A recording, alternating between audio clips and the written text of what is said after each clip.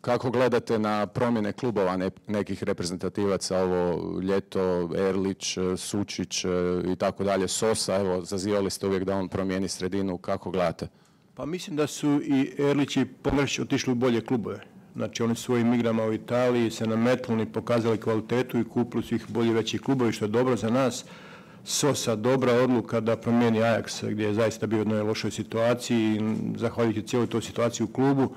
E, sad je u Torinu, imat će više prigode i bit će bolje i za mene i za njega da igra i za reprezentaciju Hrvatske.